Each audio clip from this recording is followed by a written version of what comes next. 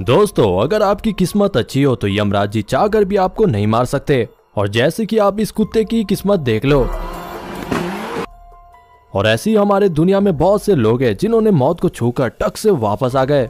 सो दोस्तों, इस वीडियो में देखते हैं कुछ ऐसी खौफनाक और चमत्कारी घटना। तो वीडियो है काफ़ी मज़ेदार तो वीडियो को पूरा ज़रूर देखेगा और चैनल पर पहली बार हो तो चैनल को भी सब्सक्राइब कर लो। तो चलिए वीडियो शुरू करते हैं। दोस्तों, इस पहले क्लिप में आप एक औरत को देख सकते हो जो अपने बच्चे के साथ अपने घर पर सो रही है और ये घटना घटी थी 2020 में। अब चलिए आपको दिखाता हूँ इस औरत के साथ ऐसा क्या हुआ कि अपने बच्चे को तुरंत लेकर अपने रूम से भाग जाती है। इस क्लिप को अगर आप जरा ध्यान से देखोगे तो आपको पता चलेगा कि इस औरत के पीछे एक बड़ा सा अजगर सांप धीरे धीरे उसके नज़दीक आ रहा था। और जैसे कि अजगर एक बहुत ही माहिर शिकारी होता है, इस औरत को तो पता भी नहीं चला कि वो उसके पीछे आ चुका है। और ये औरत अपने बच्चे को नींद में सुलाने के लिए उसे झुलाने लगती है। अब कुछ देर तक तो ऐसे ही चलता है, पर अचानक से औरत को ये अजगर सांप दिखाई देता है और वो तुरंत अपने बच्चे को लेकर उस रूम से चली जाती है। और जरा आप भी सोचिए, अगर इस माँ को पता ही नहीं चलता कि पीछे अजगर है और वो अपने बच्चे को यूँ ही छोड़ के दूसरे रूम चली जाती तो उसके साथ क्या होता? इस सेकंड क्लिप में जो आप इस व्यक्ति को देख रहे हो, ये असल में एक मछुआरा है। और रोज की तरह ये व्यक्ति अपने जालों को देखने आया था कि कोई ना कोई मछली फंसी होगी तो इसका काम चल जाए। पर तभी जब वो एक जाली को चेकिंग कर रहा था तो वो उसे बहुत ज़्यादा भारी लगा। ये बेचारा मछुआरा तो मन ही मन सोच रहा होगा इस मछली को बेचकर। पैसा ही पैसा होगा पर असलियत में वो कोई मछली नहीं थी बल्कि ये था।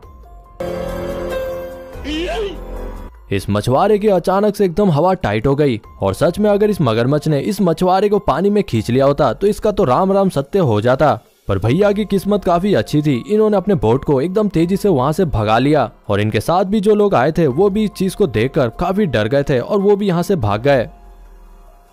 दोस्तों, किस्मत का खेल कुछ ऐसा होता है कि नामुमकिन को भी मुमकिन कर देता है इंसान की ज़िंदगी में और कई बार लोग मौत को इतने नज़दीक से देख लेते हैं कि उनको लगता है कि अब उनका स्वर्गवास होने वाला है। और इसका लाइव एग्ज़ाम्पल है ये चचा जो रास्ते में चल रहे थे। और जैसे कि देखने से ही पता चल रहा है, ये क्लिप हमारे हिंदुस्तान से ही है। और ये व्यक्ति अपने चाल ढाल में एकदम मस्त रास्ते में चले पड़े थे। आप साफ़ साफ़ देख सकते हो कि साइड में ही फुटपाथ था, जहाँ पर ये चाचा चल सकते थे। पर पता नहीं इनके दिमाग में उस समय क्या था कि ये रास्ते में ही चल रहे थे और यही उनका सबसे बड़ा भाग्य निकला। अब कुछ देर तक तो चाचा को पता ही नहीं चला कि आखिरकार उनके साथ हुआ क्या। पर थोड़े देर में जब उनकी दिमाग की बत्ती जली तो वो इस पूरे घटना के ऊपर अपना रिएक्शन देते हैं।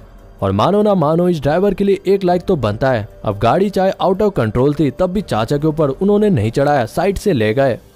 दोस्तों, ये जो क्लिप अभी आप देख रहे हो ये आती है नेदरलैंड से? और यहाँ पर आप देखोगे जरा सी चूक से, आपकी ज़िंदगी कैसे जा सकती है? हमारे भारत की तरह यहाँ भी रेलवे क्रॉसिंग में फाटक लगे हुए रहते हैं। और एक लड़का जो इस फाटक में रुका हुआ था, उसने सिर्फ़ एक ही ट्रेन को देखा था और सोचा कि इसके बाद यहाँ से निकल लूँगा। और यही गलती इस लड़के की ज़िंदगी ले सकती थी। जरा मैं दिखाता हूँ आगे क्या हुआ।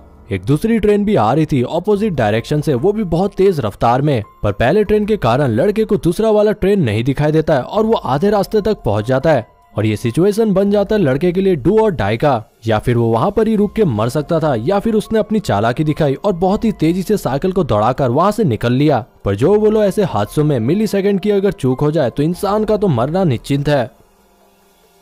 दोस्तों, इस मछुआरे को जो भी आप देख रहे हो, इसका नाम है बियान। और ये व्यक्ति अपने साथियों के साथ कोलंबियन रिवर में फिशिंग कर रहा था, पर बियान जी को पता नहीं था कि इनके साथ क्या होने वाला है। और जैसे कि बियान जी के दोनों साथी अपने अपने काम पर बिज़ी थे, पर तभी बयान को नज़र आया कि एक शिप उनके तरफ़ बहुत ही तेज़ी से बढ़ रहा है। और ये शिप कोई छोटी मोटी शिप तो नहीं थी, बहुत ही ज़्यादा बड़ी थी। अब कुछ देर तक तो इन्होंने भी कोशिश किया कि ड्राइवर को समझा दे कि ये लोग यहाँ पर हैं। इसी चक्कर में हाथ भी लाया और जो कर सकते थे कर दिया। पर आखिरकार जब शिप बहुत ही ज़्यादा नज़दीक आ गए तो ये सभी उछल गए पानी पर। इन सभी का कपड़ा देख समझ में आ रहा है कि ये मौसम करीबन सर्दी का होगा, और इस समय पानी में कूदने के कारण इनको कुछ भी हो सकता था। और साथ ही साथ बाद में यहाँ पर एक लीगल बैटल भी होता है, जहाँ पर बियान जी करीबन तीन करोड़ का जुर्माना लगा देते हैं इस शिप के मालिक के ऊपर। सो दोस्तों आशा करूँगा वीडियो काफ़ी पसंद आए होगी वीडियो को शेयर कीजिए और चैनल को सब्सक्राइब नहीं किया तो कर लेना। और वीडियो को एक लाइक ज़रूर दीजिए। काफ़ी मेहनत से बनी है। मिलते अगले वीडियो में एक नए मज़ेदार वीडियो के साथ इसी चैनल पर।